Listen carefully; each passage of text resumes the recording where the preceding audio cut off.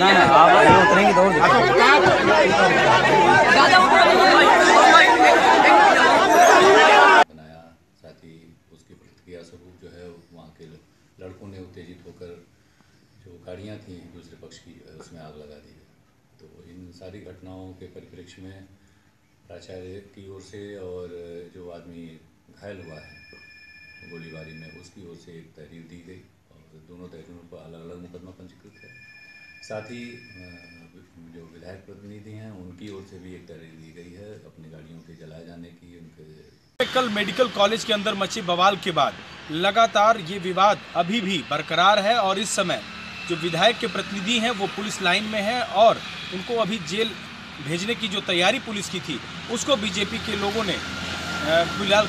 चक्का जाम करके रोक दिया है और उनका ये कहना है कि जो मेडिकल कॉलेज प्रशासन की तरफ़ से और मेडिकल कॉलेज के जो छात्रों ने उनकी गाड़ियों को फूका था, उसके खिलाफ भी मुकदमा होना चाहिए और अरेस्टिंग भी होनी चाहिए। फ़िलहाल अभी यहाँ पर जिलाधिकारी आवास पर दो घंटे लगातार विधायक, सांसद और उसके अलावा बीजेपी के तमाम बड़े कार्यकर्ता और साथ ही साथ पदाधिकारियों के साथ जिलाधिकारी और कप्तान की अभी बैठक खत्म हुई है। और अब देखना ये होगा कि जो नौ बजे तक का पुलिस अधिकारियों ने अल्टीमेटम दिया है, उस दौरान इस पूरे मामले में अभी कोई सफलता मिलती है पुलिस को या नहीं, ये देखने वाली बात होगी। पंकज मिश्रा ईटीवी भारत अंबेडकर नगर।